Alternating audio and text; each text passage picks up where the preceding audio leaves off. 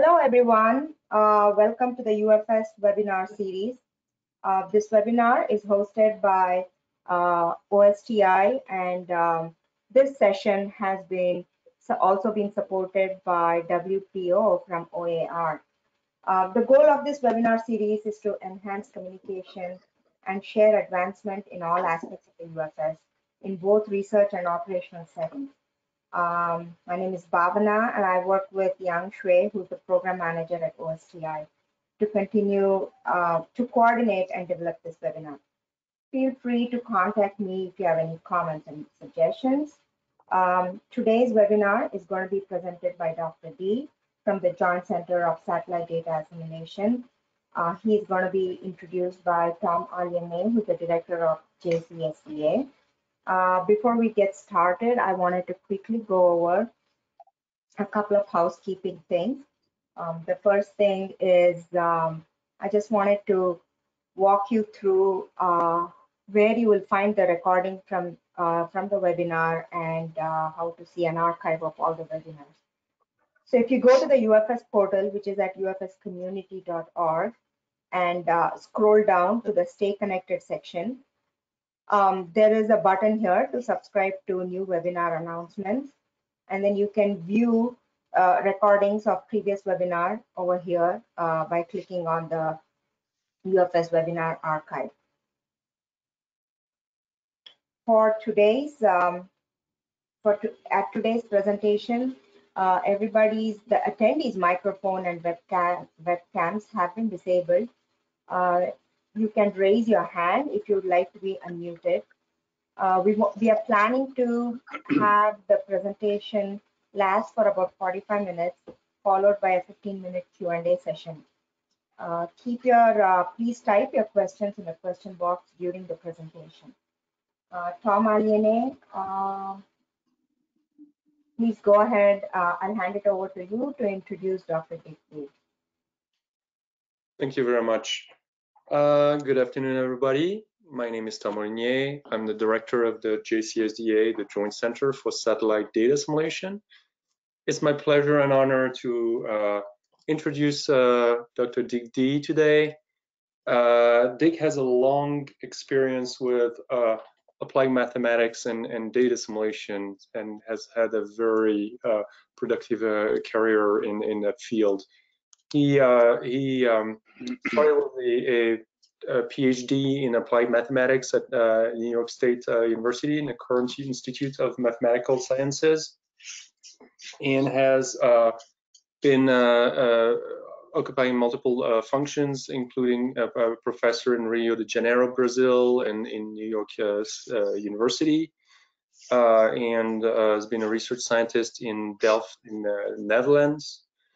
Um, He's also uh, been for a long time uh, um, a scientist in uh, in NASA, what uh, used to be called uh, DAO, the Data Assimilation Office, and it's called now GMAO, and has contributed quite a lot in the in the field of of, of data assimilation, including the adaptive Kalman filter, covariance estimation, model bias correction, observation quality control.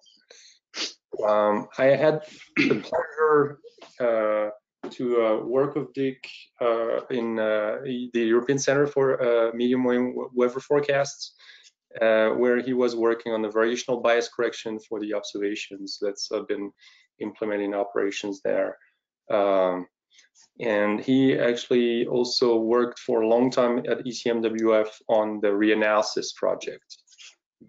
ERA interim and then ERA CLIM Uh, looking at uh, uh, a couple data assimilation long time series of uh, of, uh, of observations and homogeneous time series for climate studies. That's that's being used around the world, and it's, it's really spearheaded a, a, a, whole field of, of science there. In 2014, uh, Dick Dee became the deputy head of the, the Copernicus service for uh, climate change at ECMWF.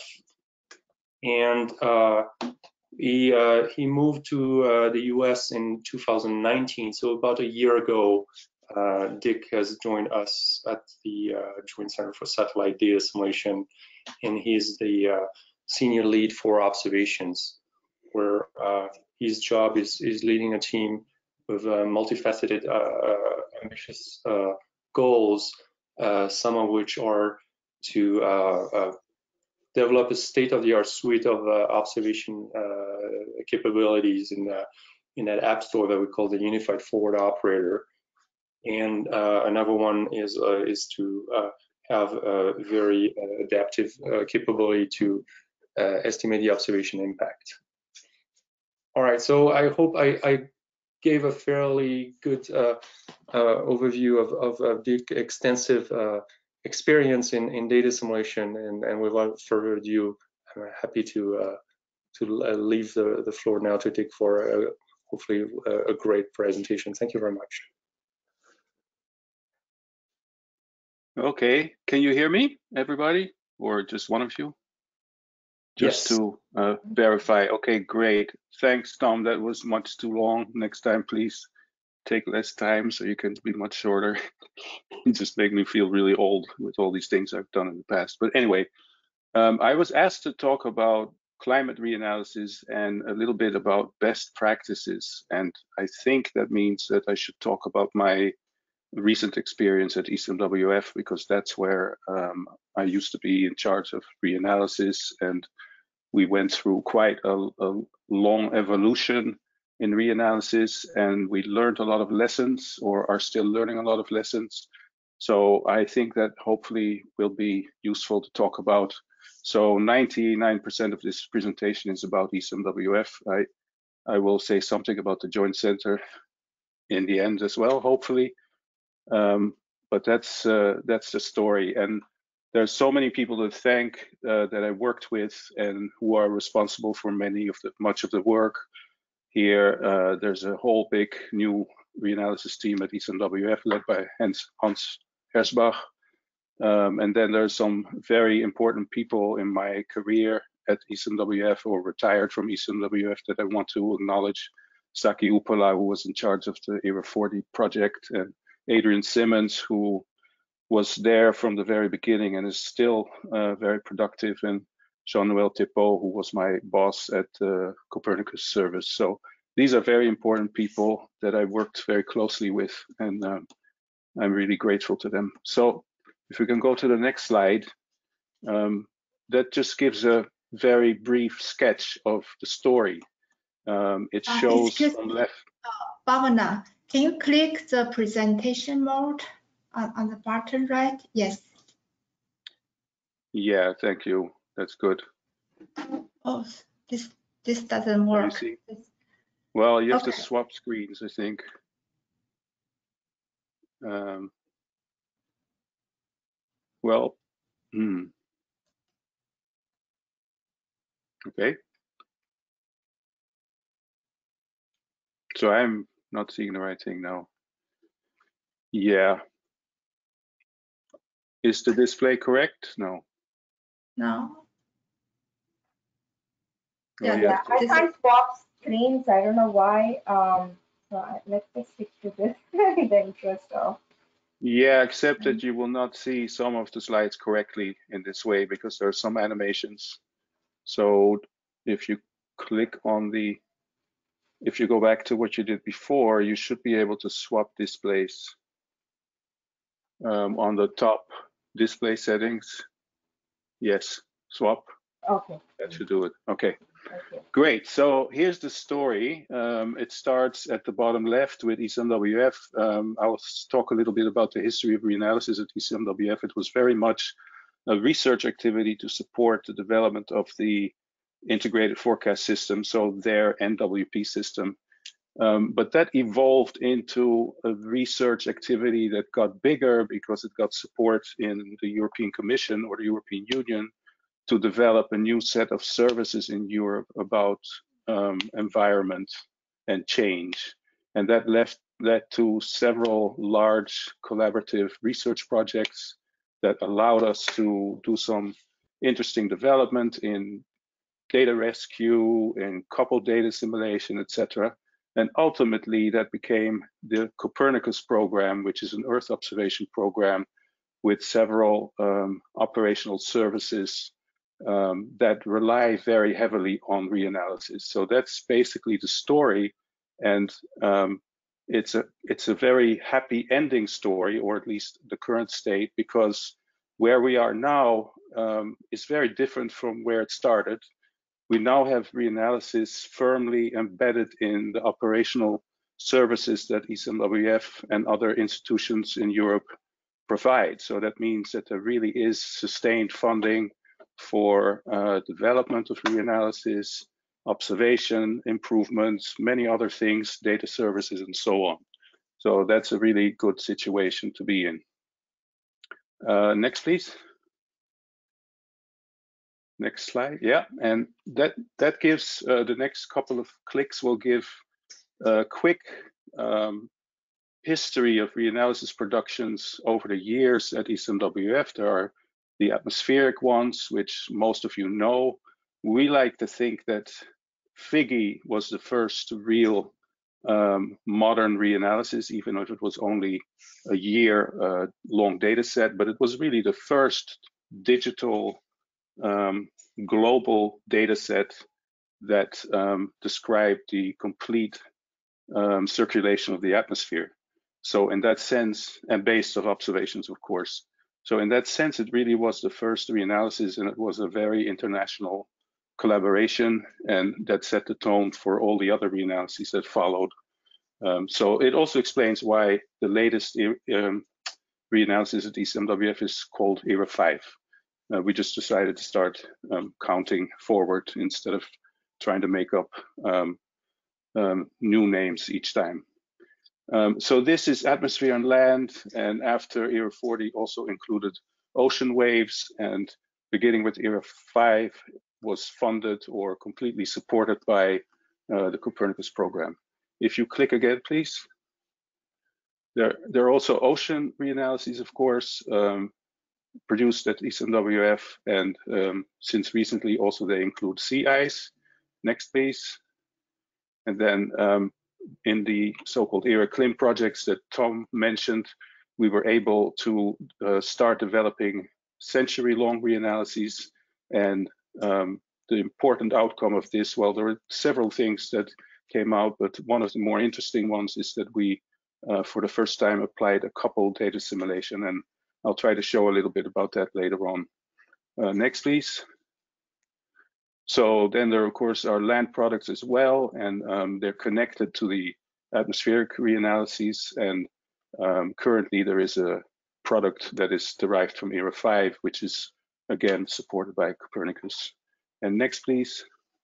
And then there are the atmosphere composition reanalyses also now supported by Copernicus. So that's really quite a lot of activity. And um, I want to show you or tell you why this is so important at, at that they have kept this going even before um, this kind of uh, funding that we have today uh, was available. Uh, next, please. So the, here's just a list of reasons why it's why it's important and really embedded in uh, sort of the culture at ECMWF to to do reanalysis.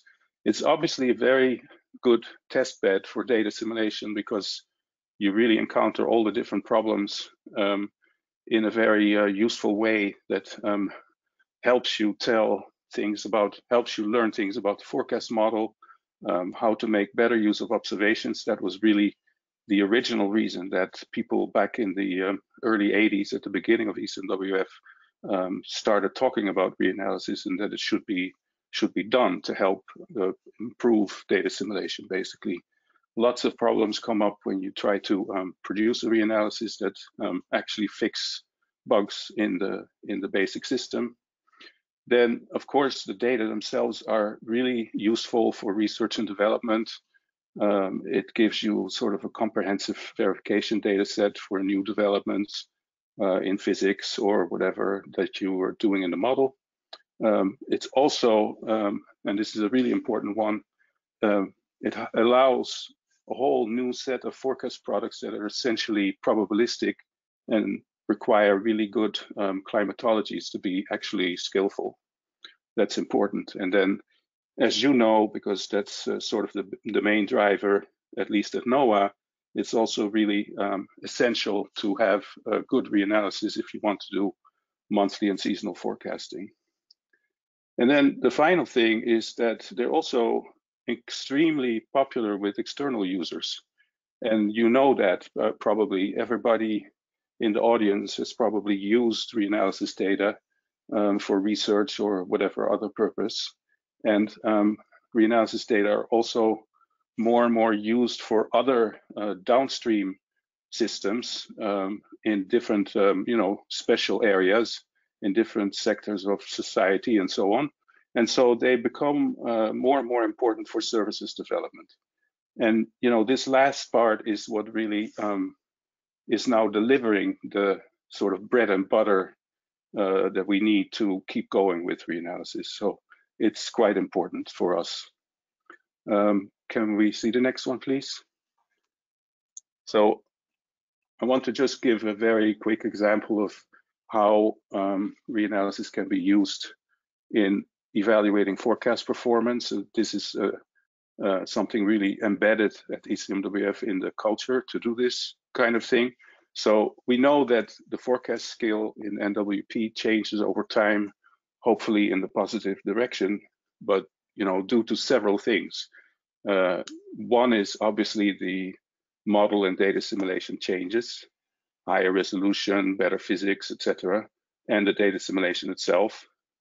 Um, the other is the changes in the observing system, and the third one is just the predictability regimes that, you know, change over time in the atmosphere. So when you look at the curve like uh, the red one here, that's a skill score for um, precipitation in the high resolution um, NWP system. And you see that's improved over time, but you know, not monotonically, and there are all kinds of variations.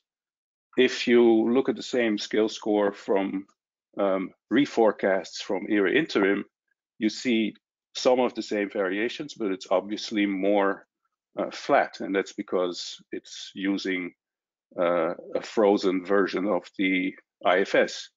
In this case, it was a 2006 version, um, slightly lower resolution than the NWP system. So you see the curve starts pretty close to the to the red one, but then sort of stays in that same um, at that same level. Uh, next, please. Now, if you look at the difference, then you essentially isolate the effect of the upgrades because um, you know the observing system is roughly the same, and the predictability, of course, is also the same. So that curve here is really useful because it does tell you actually what is the impact of uh, model and data assimilation upgrades. And so you can do this on a routine basis if you have a reanalysis that is updated in time, in real time. And it, it really helps, um, even in the short term, let's say of a few months, to uh, assess impact of changes in the model. Uh, so next, please. And then, of course, you can do that for all parameters because reanalysis is very comprehensive. So you can see much more detail in this way. The only requirement is really that the reanalysis system should be at least similar to the NWP system. So, I mean, ideally it should be the same system, but that's not practical because um, it takes a long time to produce a reanalysis. But it does mean that you have to um, redo a reanalysis occasionally. And with ERA interim, that was definitely the case. Uh, it was almost 10 years old and it started to uh, get old and too old. So, if, for example, it couldn't it, um, it couldn't really handle lots of observations that the uh, NWP system uh, uses, and then the differences become um, too large to be able to do this usefully. Next, please. And then, as I mentioned, um, for probabilistic forecast products, which are becoming more and more popular and more impor important for um, well, in Europe, especially for the member states, but everywhere, of course. And this is just an example of uh, a very popular product, which is the extreme uh, forecast index that tells you, um, you know, likely areas where uh, certain types of um, extreme weather are likely to occur. And that's extremely useful for uh, planning, of course. So this kind of product um, can only be produced if you have a good climatology and really the, the value of the product depends on how good the climatology is. Um, next, please. So then I mentioned services. So now I'd like to actually spend 10 minutes or so talking about um, this whole Copernicus program and what it means. And it's something that has been talked about for a long time. So this is a slide from Adrian Simmons that was um, developed by people at this um, World Climate Conference, including Kevin Trenberth and others. And they were sketching out, you know, how um, uh, environmental services could be developed um, based on the um, capabilities that exist in weather forecasting, etc. And so the key thing about this plot is that right from the beginning, it was recognized that reanalyses, both global and regional, would be central in, in uh, services like that because of the sort of comprehensive information that they provide, um, making the best possible use of observations and models um, in all time scales. Um, so, so that was sort of the beginning of um, a central role for reanalysis in these emerging uh, plans for services. Uh, next, please. So that led to the Copernicus program, which is an Earth observation program in Europe. Um, a large investment. Um, the hardware is basically the Sentinels, which many of you know about. So that's the satellites that are operational satellites planned out for the next 20, 30 years um, to monitor atmosphere, ocean and land and climate um, in many different ways. So that's, of course, a large investment. Um, but the really unique thing about this program is that the initial investment from the beginning, it was recognized that without services, you really cannot benefit um, from any or from most of these data. So uh, roughly 20% of the budget, which let's see, over the last, uh, the beginning of the period, the last seven, eight years, um, amounts to probably a little over 100 million euros per year was spent on development of services. And that's a lot of money. Um, can we go next, please? So Copernicus uh, set off six different services, information services, three of them uh, associated with the different components of the Earth system, land, marine, and atmosphere, and three cross-cutting services, a security service, emergency management service, so that's about, you know, fire warning, flood warnings, and so on, and the Copernicus climate change service. And the way that these work is they're supposed to use, of course, the um, Copernicus data, but any other data and models to um, be able to serve the users, the different use cases in society for environmental information.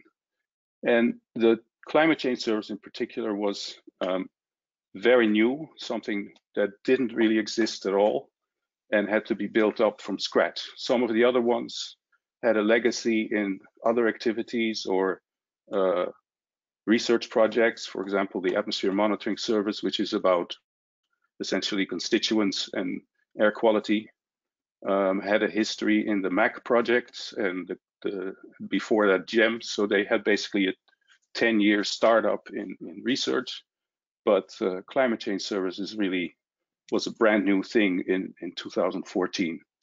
Next, please.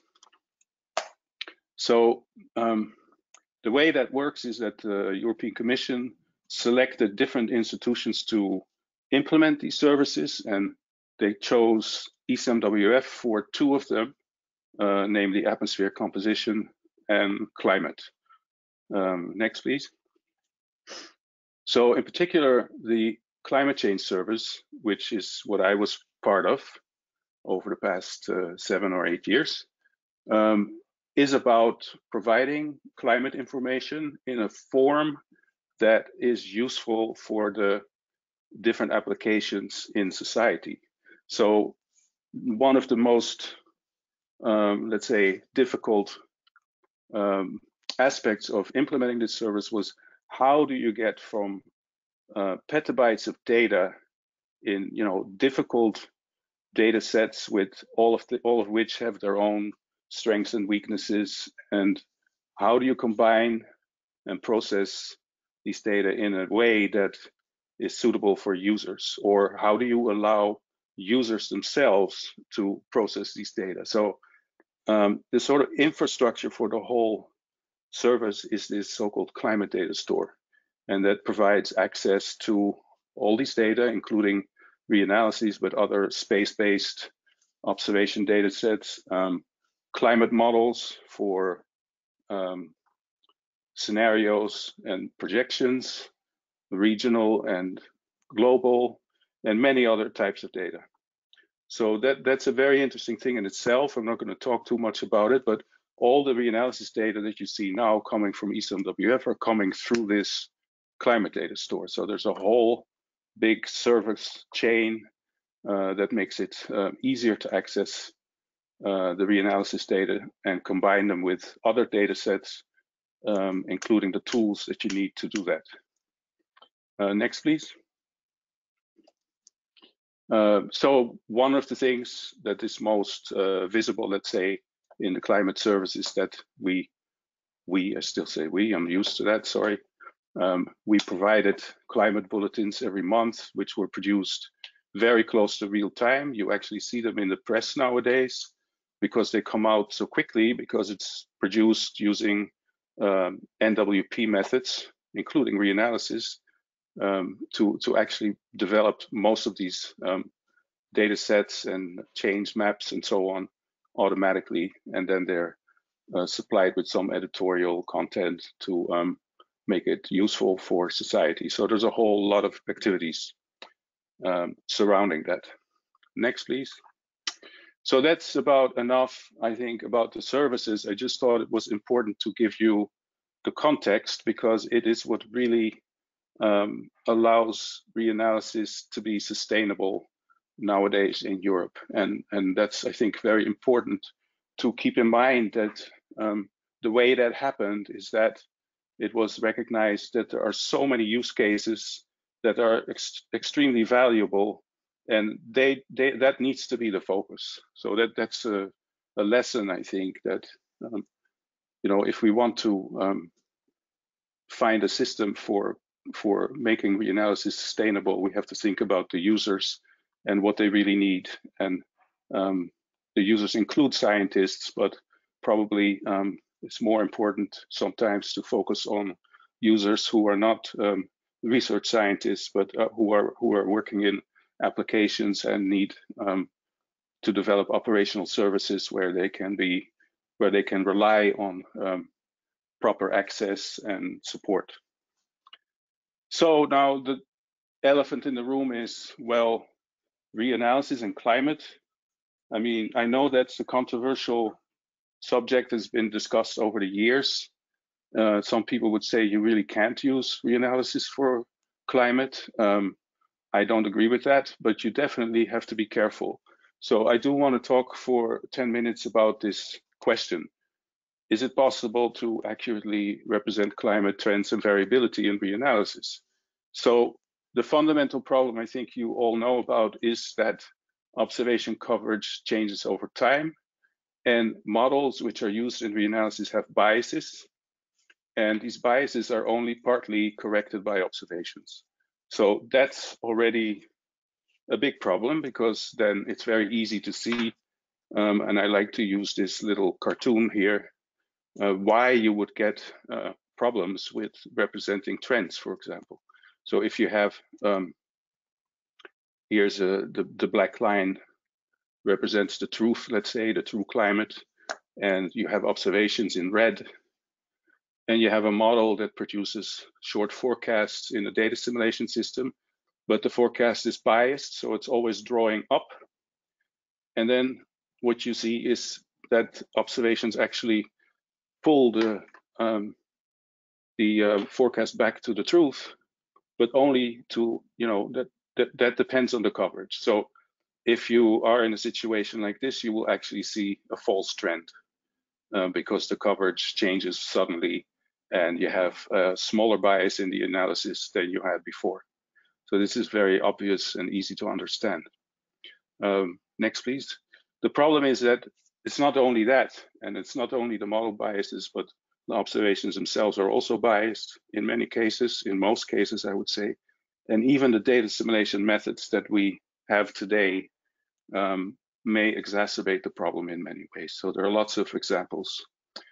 Um, so I want to talk a little bit about this problem and some of the issues and pieces of evidence, but also mainly about progress. So next, please. So here's a real case that is exactly the same as that little cartoon that I just showed. These are um, two meter air surface, sorry, two meter air temperature anomalies. Um, the difference between ERA 40, which is pretty old by now, um, and CRUTEM, which is you know one of the benchmark data sets from based on station data. And these are type of data sets that NOAA also produces and NASA that are based on just um, climate reports from station data. and they're quite reliable, but of course they also have issues, but uh, they go back very far. And this is what we usually refer to when we look at climate change since the pre-industrial uh, period. So this difference here is um, obviously not flat. And it's known uh, that ERA 40, the model in ERA 40 had a warm bias. And if you don't have enough um, SYNOP stations, in other words, to correct that, then you um, get exactly what we saw on the previous slide. So that's what you see here. So ERA 40 is actually okay after um, or in the satellite period after 79. It's pretty agrees pretty well with station data, but um, when you get less coverage, then um, it gets worse. Next, please. By the way, the spike in, in there in 1980 is a problem in the CRUTEM um, data set. So just to indicate, like I said before, observations also have problems. This happens to be a quality control problem where somebody swapped one month um, for another. And so that's how you got that spike. Next, please. that that was corrected. So there's a new version of the observation data set, and now you see somewhat better agreement with ERA 40, but of course the bias problem remains. This is to illustrate what I said earlier, that observations have problems too, and they need to be worked on, um, and it takes time to find the problems and correct them. So that's a just like reanalysis itself, these data sets also have to get constant attention and there's work to do to improve them.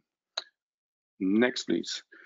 So if you look now at the atmosphere as a whole, so this is a nice set of plots from Adrian Simmons, one of his papers. He has several very good papers on um, climate variability and trends in reanalysis data. Uh, very detailed, of course, is sort of his style uh, lots of information in there. Uh, really worth reading those papers if you have interest in this. So this gives a bit more complete picture for three different reanalyses, ERA interim, ERA 40, and JRA 55, Japanese reanalysis. And if you look, um, glance at the two um, plots, so they, they give the anomalies at different pressure levels in the atmosphere. You can see that the troposphere is pretty consistent among them. You see some clear signals like the 1998 El Nino, which has a very deep effect in throughout the troposphere. You see on the right panel, you see the um, volcanic eruptions and the effect in the um, stratosphere. So all of that is in there, so that's good. But there are definitely differences, especially in ERA 40, which really had poor bias correction in many observation sources. And then in the stratosphere, you see things go pretty haywire near interim. There's this huge jump at one hectopascal, but it's also visible at five. And really, you cannot really trust the trends over, um, you know, 10, 10 hectopascal and up. And we know we know how these things happened. I'll, I'll talk a little bit more about that later. But this just shows that there is definitely good information about uh, trends. The lower lower stratosphere cooling is in, in ERA interim, for example, um, but you have to be very careful to use them. Next, please. Um, hydrological cycle is even more challenging. This is another plot that just shows for different reanalyses compared to observation data sets, so RSS and GPCP, uh, which are at the bottom there. Um, the different, uh, this is for tropics, uh, total column water vapor and ocean precipitation rates. Um, let's look at the bottom one and you see that ERA interim is uh, improved over the other reanalyses. It's still a bit high compared to the observation data sets, but there is discussion about whether the observation data sets are actually not too low. But the point is that um, variability is fairly well represented. Now, if we look a little bit more in detail, the next slide, please. Um, again, precipitation rates, but now just for ERA interim and ERA 5. And if you look at the left um, plot, notice that the scale here is much finer. So the difference differences are, um, you know, amplified so that we can see what's going on. But they are actually not that large.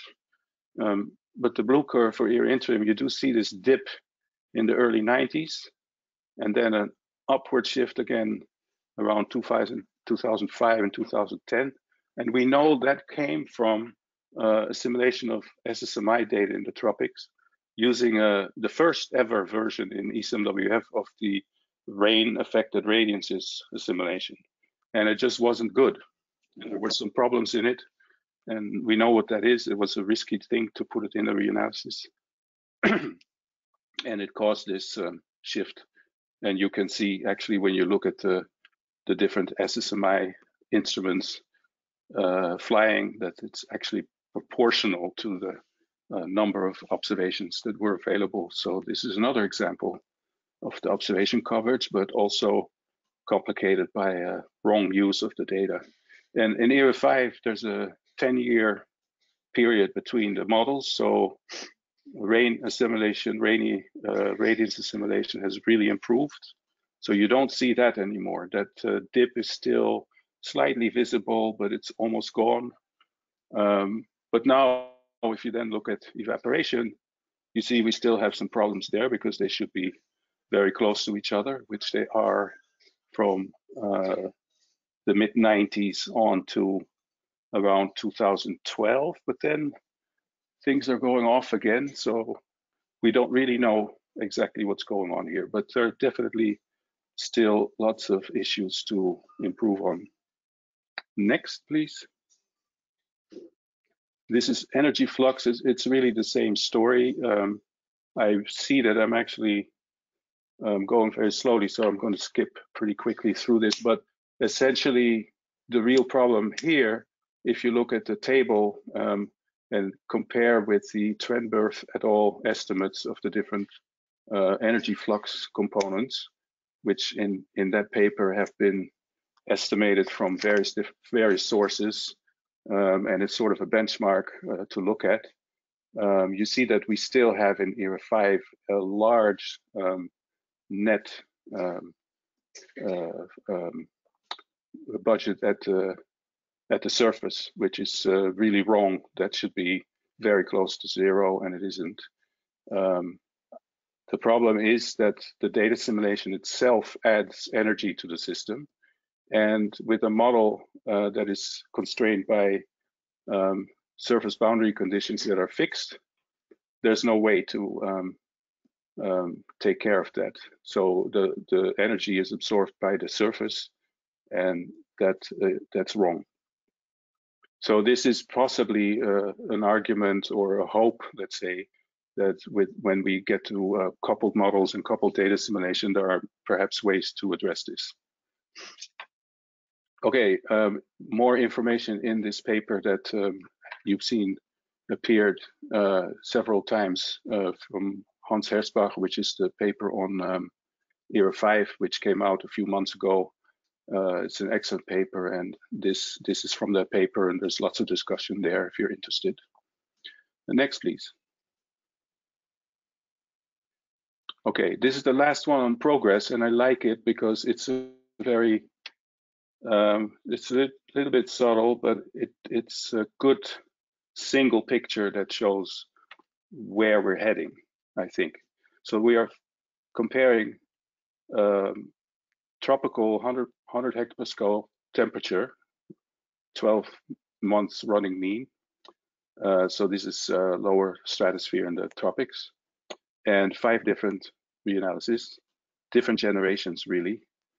Um, and what it really shows is the impact of RO data.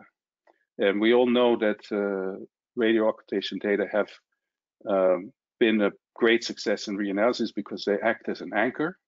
Uh, the biases are very small and there are lots of them and they're nicely distributed um, over the globe. So after about 2006, we have enough of these data in the reanalyses, with the exception of MERRA, to anchor them.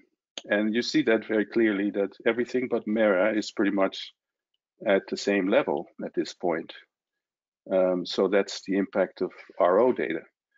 But what's interesting, I think, is when you look prior to the RO data, then you have uh, the impact of model bias in the different reanalyses because they're not anchored there are other observations, but there's nothing like the um, RO to constrain the 100 hectopascal levels. So you see the shift uh, basically showing uh, what the model biases are at that level. And you see that the two most recent reanalyses, MERRA2 and ERA5, are very, very close together. Um, so that's, I think, a really nice sign of progress because what you want to see is that all of this eventually converge, converges to uh, the same thing or nearly the same. Okay, so next slide. I could show you much more of these types of examples of issues and progress and so on. But this is a list that I think covers more or less what it really takes to um, make progress in these things. Um, it's work on input observations. So we need better input observations. There are lots of problems with them, uh, especially the satellite-based. I'll show a few things in a minute. Um, the model input itself, so the radiative forcing and boundary conditions, have to be improved continuously. Uh, biases in the models obviously are sort of the ultimate uh, vic um, victim now uh, you know, culprit here, and and they have to be addressed. But of course, that takes very long time. It's very difficult.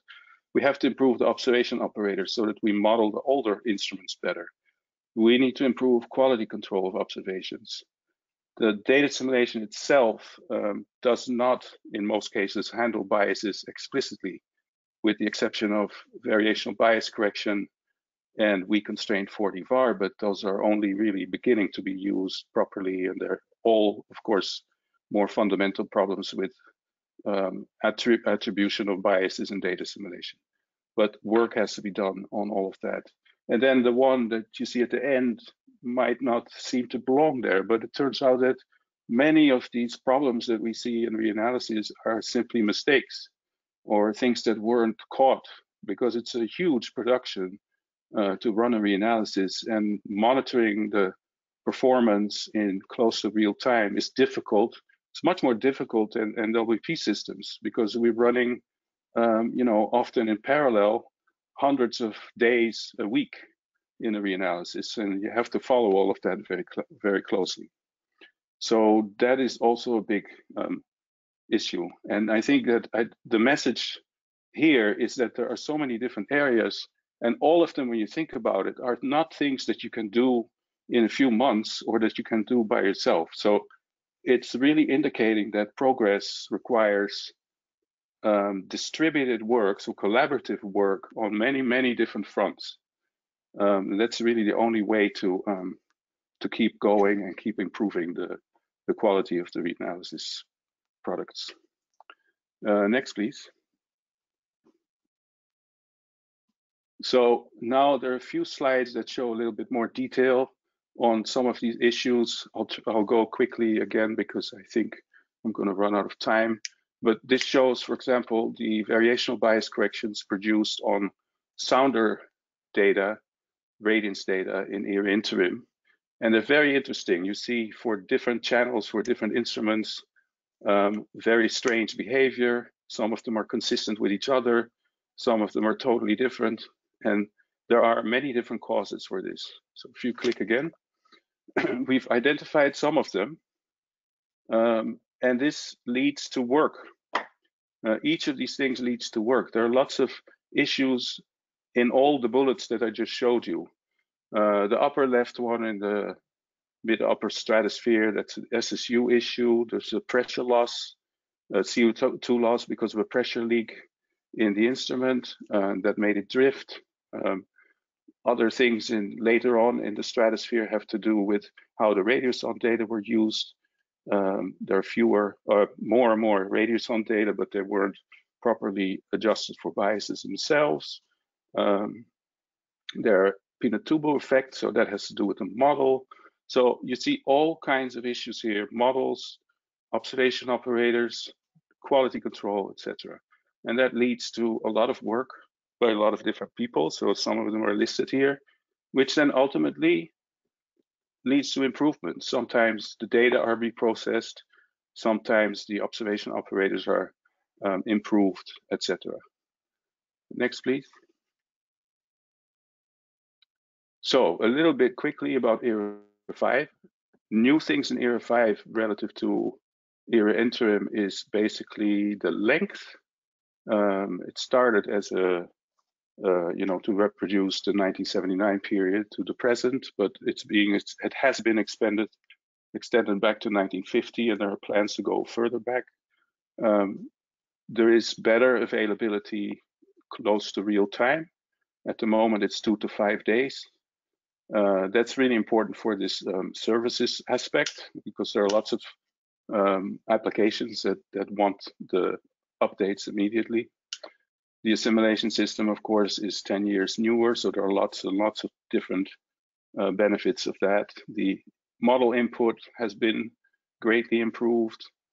Um, the input observations I'll talk about in a minute are, are really revisited almost comprehensively, and that I think is a major change over ERA Interim, which was basically a very small scale project that happened to be very successful, but it, it just used the same things basically that were used for ERA 40. And I think that a really important thing about reanalysis today is that we have much better input observations that have been reprocessed and recalibrated um, by different groups, uh, data providers, etc. So there are other improvements. Variational bias correction is applied to uh, different, um, not just the radiances, but many other uh, instruments as well. And of course, the resolution is much better than ERA interim. Next, please. So just a few uh, slides. This is the um, input observations. Um, you don't have to look at all of it, but the message here, there are actually two slides because it doesn't fit on one, is number one, there are there's a huge uh, amount of uh, instruments to be handled in a reanalysis like this. Um, the blue ones, if you could, could you go back just a second to the previous? The blue uh, bars indicate the observations that have been reprocessed, especially for ERA 5. So they were uh, perhaps used in ERA, ERA interim, but they have been improved since then. And that's a, that's a major part of the observing system, including RO data, AMVs pretty comprehensively, ozone, etc. Next, please.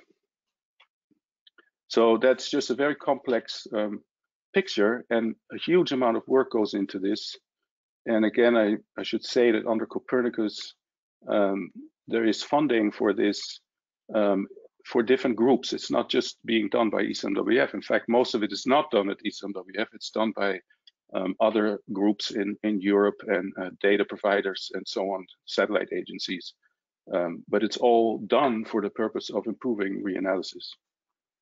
Um, I should say that uh, since we're looking at these observations, that one of the things that the Joint Center wants to do is to develop an observation data store that um, can share, can make it shareable. Uh, these these type of data sets that have been especially improved for reanalysis could be could be shared on that data store. And we have um, uh, ECMWF word that they are um, interested in that, and that, that could really help the US effort as well. Okay, next please. This shows you analysis increments, uh, a complete summary of analysis increments for ERA 5, globally averaged, and I think weekly or monthly average, uh, probably monthly average. And there's a lot of information here. Um, I don't have too much time to talk about what's wrong with it. There are definitely, definitely still some issues, especially in the stratosphere, which in some sense is even worse than ERA interim. But if you just flip, please, back and forth once or twice with the next slide, this is ERA interim. So you see much different amplitude. So the, the analysis increments in ERA 5 are overall much smaller. That's a very good sign. That means that the background is generally much closer to the observations. Um, and there are uh, fewer problems with um, jumps and sort of obvious artifacts. Ozone is a good example. In fact, the whole ozone input was pretty much new for, for ERA 5 with very good um, impact of that. Next, please. Uh, spatial resolution and temporal resolution, you can see that in representation of storms. This is just a nice animation that shows uh, the, the Florence uh, event in 2018 and it makes a big difference to have hourly uh, data on, on, a on a much finer grid. Next, please. And this is also, I think, interesting. If you click once, you see here the, because we're now using ensembles also at the ECMWF. I know that uh, that that was not pioneered by us by no means, but now now this is the standard for for reanalysis is to have some kind of ensemble to give some uncertainty information, and this um, 20th century reanalysis CERA 20C, which um, is a coupled ocean atmosphere reanalysis, but using only surface observations. The ensemble there gives you um, an indication of the um, uncertainties, and you see uh, if you look at the, uh, so these are zonal means, obviously, and averaged over a whole season. And you, you know, uncertainties are large where things are red and small where they're green. And you can see clearly that only in the northern hemisphere and in the tropics, where the where the variability is less, you you have smaller uncertainties. But basically, southern hemisphere is not uh, not very accurate at all, and the upper levels aren't either uh, one click, please. But then if you look at ERA 5 in 1971, we are already in a much better position because, of course, that means that we have lots of upper air data in the Northern Hemisphere that are used. Um, so this is pre-satellite, but still there are plenty of um, other instruments to allow reducing the uncertainties. Uh, one more click. And then if you look at 1980, which is the beginning of the satellite era, you see that the southern hemisphere also becomes more uh, well-defined. And finally, one more click. Um, if you look at um, ERA 5 close to today, with the observing system that we have today, the spread in the ensemble indicates that we actually have pretty good um, accuracy in temperature um, for the whole season. Now, these are so-called synoptic uncertainties that the that the ensemble gives us. It doesn't tell us anything about error bars or trends and, and climate scales. That's something that we have to keep in mind. It's a whole different problem to to estimate those types of uncertainties. Uh, next, please. And we're gonna go skip this because I realize I'm running pretty late. So if you go one more. Just quickly, I wanted to add one more thing. Um, next thing that's coming up um, at ECMWF anyway is a, well, also in the US, as I understand it, is that the next reanalysis should be coupled with the ocean and sea ice. And this at, uh, in, in, at ECMWF, we, we have some experience with this because in the ERA CLIM projects, we developed a way to do that within the um, incremental 4D-VAR system that is in the IFS by essentially coupling the model in the outer loop and keeping the linearized uh, analysis solvers uh, separate, but only in the inner loops. So if you iterate that idea, so the outer loop is always using a fully coupled model, then the impact of observations in any of the components in the ocean or in the atmosphere um, are transferred through the coupled model to the other components.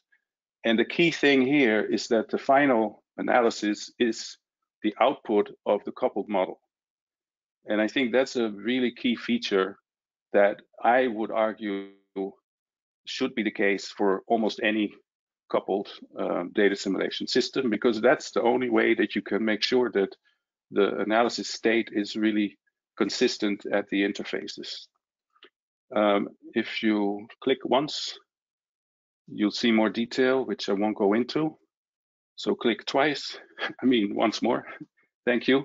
This is just an example of what can happen. So this was done in the ERA CLIM project again, and we did both a, a century-long atmospheric reanalysis just for the atmosphere with monthly boundary conditions as usual for SST, that's ERA 20C.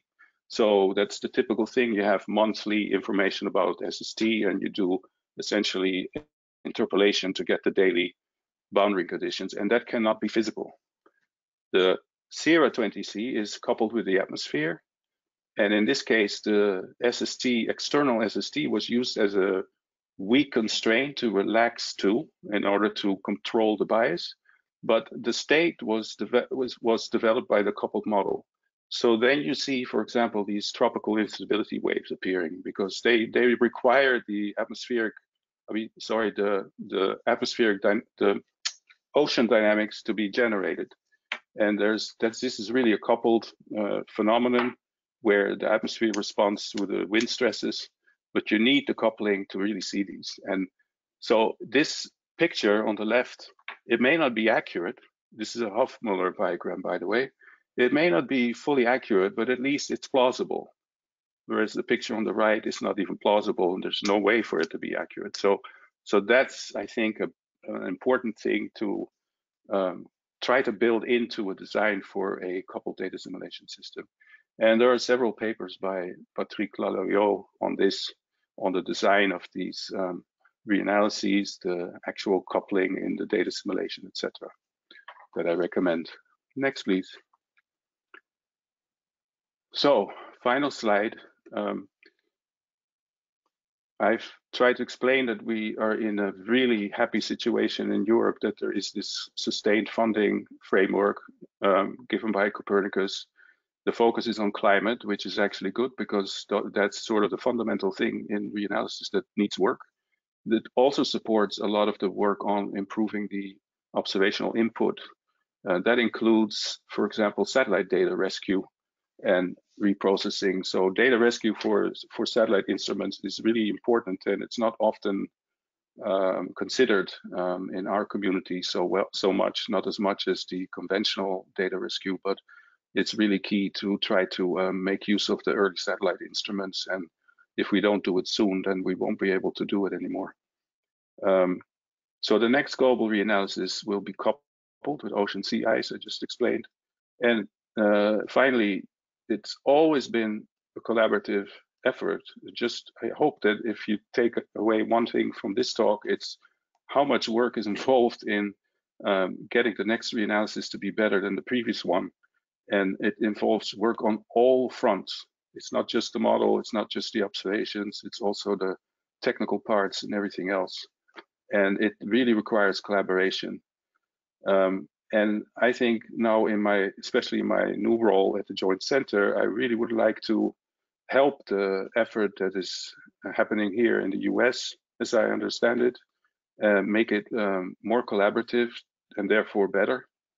Uh, the things that we can do or help with at least is to set it up so that the observation input can be shared, including the input that was used in ERA 5. So we have this uh, vision on this uh, R2D2 uh, repository for research and data and diagnostics.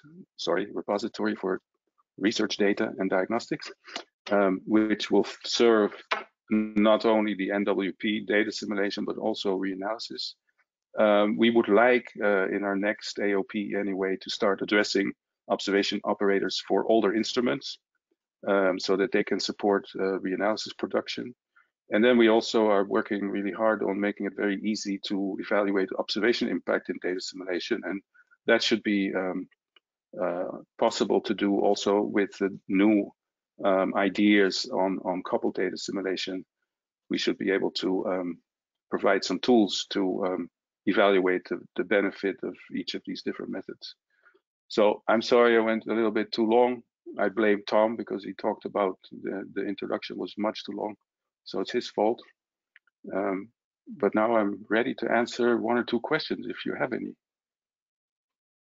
Um, Dr. Dee, can you see the question box? Um, if you cannot, then I can read out the questions to you. Yeah. Yeah. Okay. So uh, the first question is by, actually there's only one question and it's by Shay Wei Wei. He asks, Yeah. Dr. Dee, could you please provide an example of how DA system could ex exacerbate the problem? Sure, yes. Um, there are several examples. Um, I think the easiest one to understand is that the, the DA system, through the background error covariances, uh, tends to make multivariate adjustments, right? So if you change temperature somewhere in the mid latitudes, you also have to um, modify the uh, the wind field. Otherwise, you get an unbalanced increment. And so if you have uh, biased observations in one variable, um, the the multivariate nature of data assimilation can introduce biases in other variables. And there are lots of examples of that. Maybe not so much with wind and temperature, but for example, with um, some of the satellite uh, observations and channels that are sensitive to both humidity and temperature, for example, they may make large temperature, um, um, sorry, uh, humidity adjustments just because the temperatures are mismatched. Uh, and that's not, in some cases, that is systematically the wrong thing to do, depending on the situation and the other constraints. So that that's the basic mechanism through which um, biases in one variable can easily uh, creep into the others. Um, Bhavana, uh, Go ahead, uh, Yan. uh, Joshua Wu, can you unmute yourself? I cannot unmute you if you want to ask a question. Joshua Wu, Yeah. uh, you can unmute yourself, just ask your question. You, you raise your hands, right?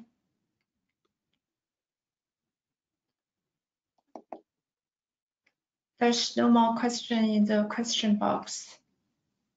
Anybody want to ask a question? You, you can just speak out. We can unmute you.